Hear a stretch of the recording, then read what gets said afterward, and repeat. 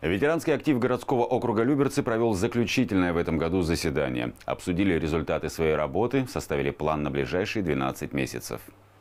В Доме ветеранов на Куракинской улице праздник. Представителей старшего поколения с Новым годом пришла поздравить дружная команда волонтеров Подмосковья. Студенты Люберецкого техникума имени Гагарина подарили сладкие подарки, испеченные своими руками. Для нас, студентов Гагаринского техникума, конечно, большая честь поздравить с наступающим Новым годом ветеранов, пожелать им всего самого наилучшего, крепкого здоровья, сил, бодрости.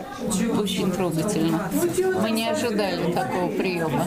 Добра и счастья всем в новом году здоровья и благополучия. Ветераны пообщались с главой округа. Владимир Волков поделился планами на ближайшее время. Мы будем развивать город, будем дополнительно благоустраивать новые площадки детские и общественные территории. Нам только что утвердили большой план благоустройства, так называемая лесная пушка, это в поселке Октябрьский. У нас планы по ремонту нашего дома культуры.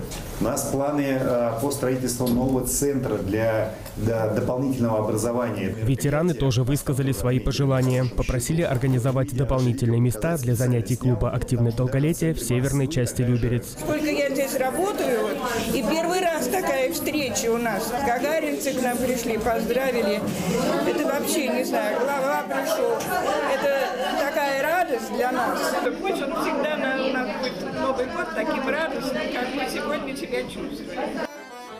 Музыкальный сюрприз от творческих коллективов округа стал красивым завершением предпраздничной встречи.